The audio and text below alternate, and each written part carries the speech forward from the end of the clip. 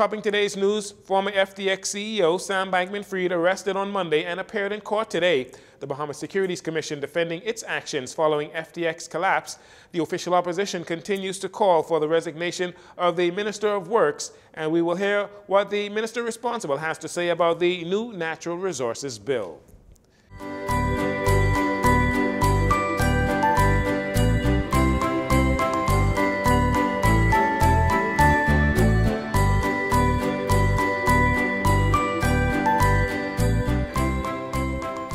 I'm Jareno Saunders. This is your JCN Evening News. It's a pleasure to have you join us.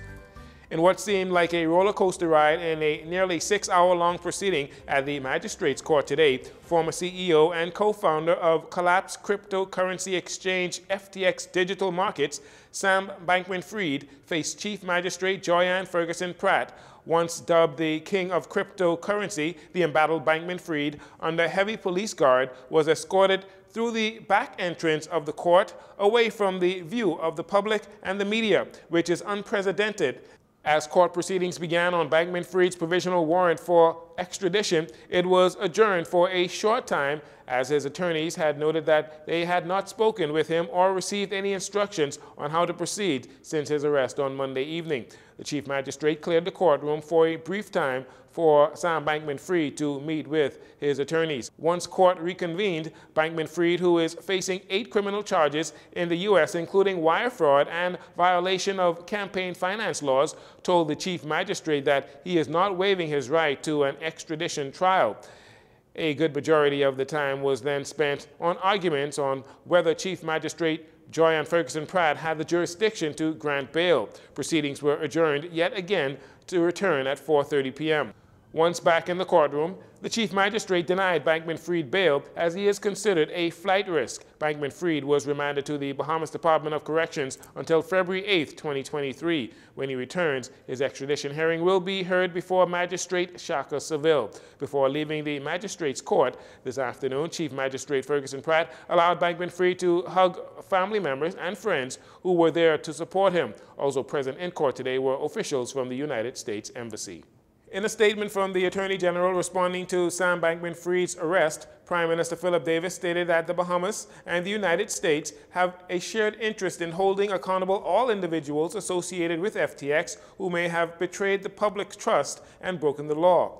While the United States is pursuing criminal charges against Bankman Fried individually, the Bahamas will continue its own regulatory and criminal investigation into the collapse of FTX with the continued cooperation of law enforcement and regulatory partners in the United States and elsewhere. Following Bankman Fried's arrest, U.S. Congresswoman Maxine Waters said, she was surprised to hear that he had been arrested as he was due to testify about the collapse of FTX before the U.S. Congress today. The U.S. Securities and Exchange Commission, SEC, has charged Sam Bankman Fried with orchestrating a scheme to defraud investors in the failed cryptocurrency exchange, FTX. The U.S. Securities and Exchange Commission is also charging Bankman Fried with violating the anti-fraud provisions of the Securities Act of 1933 and the Securities Exchange Act of 1934. The Securities Commission of the Bahamas yet again with the daunting task of setting the record straight when it comes to the fallout of FTX digital markets and what the company's U.S. debtors are putting out there in the public domain. This afternoon, the Commission addressed what they call misstatements in FTX U.S. bankruptcy case. Our Caitlin Babs has more on this angle in this next report. As the debacle of FTX digital markets continues to unfold, the Securities Commission is once again having the need to correct key misstatements made by new Chief Executive Officer of FTX, U.S. John Ray III, who also represents FTX U.S. debtors. As the row over rival bankruptcy proceedings deepen, the Commission in a statement this afternoon says Mr. Ray does not appear to be concerned with facts, but rather appears intended only to make headlines and advance questionable agendas. Add to that, the Commission has accused Mr. Ray of obstructing investigations into FTX.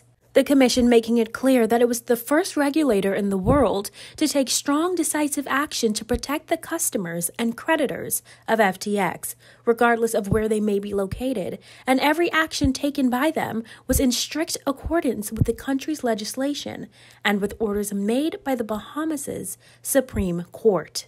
These actions, the Commission says, included securing the transfer of potentially commingled digital assets of FTX Digital Markets Limited and affiliates to a secure location under the authority of an order issued by the highest court. In early November, when the once second largest cryptocurrency exchange fell into financial crisis, the Commission froze the assets of FTX and still holds those assets as trustee only under Bahamian law. The Commission contends that Mr. Ray, in his filings in bankruptcy court, referred to redacted email correspondence by and between Sam Bankman Fried and Bahamian officials.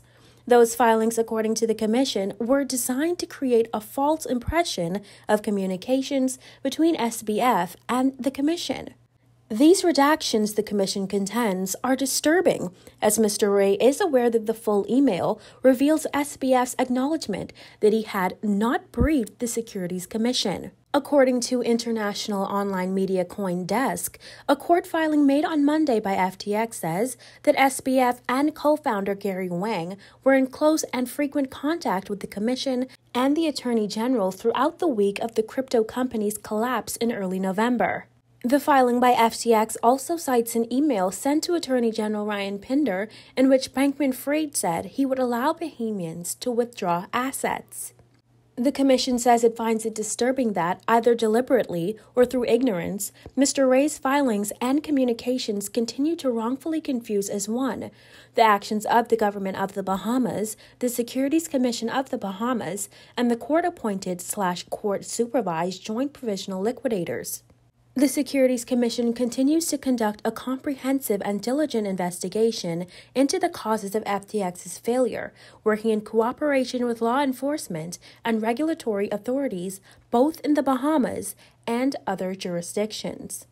Unfortunately, it has been necessary for the Securities Commission to make a request to Mr. Ray's representatives to not obstruct that investigation Mr. Ray has not once reached out to the Securities Commission to discuss any of his concerns before airing them publicly. The Commission emphasizes that Mr. Ray, however, has been informed by letter dated December 7th. Mr. Ray has not responded to the Commission to date. For JCN News, I'm Caitlin Babb.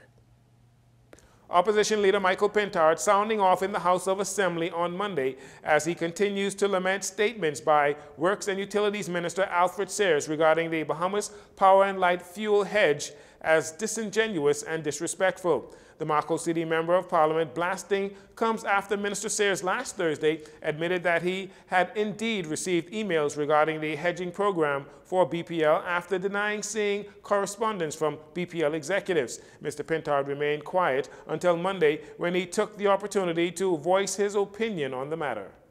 It's Disrespectful is for a member in this House more than eight times to claim not to know about a hedging program and you all be, be on the desk, only to find out that it was untruthful. And even when a press conference is held, the press conference is littered with new untruths. My, my old iPad, my old iPad, I found the emails on as if, as if, as if, as if you can't go on a new device and find old emails. The Minister of Works and Utilities told reporters last Thursday that he did a personal search after being questioned by the opposition and reaching out to his permanent secretary to no avail for confirmation on whether he did receive correspondence from BPL. He stated that only at that point did he find an email dating back to October 2021 containing attachments regarding the hedging program. The opposition leader also criticizing the Davis administration's responses to arguments made by the opposition, claiming that they intimidate the public. Of the public, every time we raise these factual issues about issues of governance, multiple members on the governing side comes with threats. That's what they do. One member, one member said, are you sure you want to lay a legitimate document in the House? Because somebody can always come in here and lay a document and say you all receive a bribe. We now have the, the member for Yama, Yama threatening what they would release. We already see you all, we already see you all and how you all are behaving, seeking to intimidate behaviors.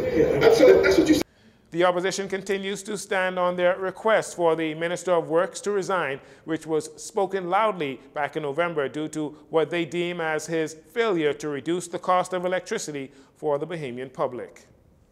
And finally, in this segment, Minister of Foreign Affairs and Chairman for the Progressive Liberal Party, Fred Mitchell, took time on Monday to defend fellow Cabinet Minister Alfred Sears as the official opposition continues to push for his resignation after he admitted to seeing correspondence from the Bahamas Power and Light executives regarding the corporation's fuel hedge when he had previously said in the House that he did not see those documents. Mr. Mitchell believes the opposition has no grounds to demand for Mr. Sears' resignation.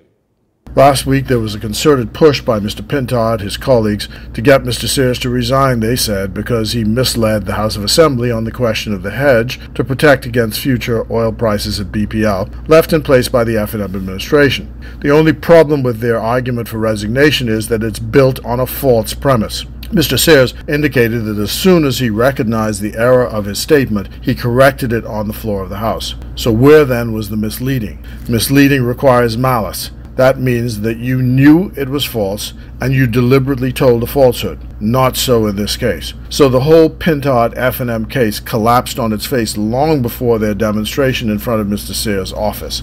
It was just showboating on their part. Mr. Mitchell then accused the two local dailies of doing the work of the opposition in the Sears BPL matter. He asked the following question and gave his opinion on the legitimacy of the BPL fuel hedge based on the FNM's assertions. What is all this stuff about the hedge anyway? The bottom line is this. After all the horse dead and cow fat, all the nonsense that the press and the FNM and all this stuff about BPL, the problem is BPL itself rejected the hedge left in place. And they believed it would have been negligible in its effects and so not worth the effort. Secondly, the financial secretary who guards the government's purse did not support the hedge, so BPL could not have used it anyway in the face of that opposition. But of course, the FNM and our intrepid press have one mantra, don't let the truth interfere with a good story.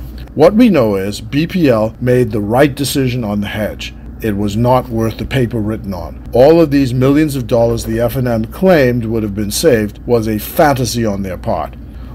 Opposition leader Michael Pintard has accused Mr. Sears and Prime Minister Philip Davis of trying to conceal the fact that they had made a bad decision by not continuing with the fuel hedge at BPL and in the process has subjected the country to an increase of fuel charges internationally. We'll take a break here. We'll be right back after these commercials.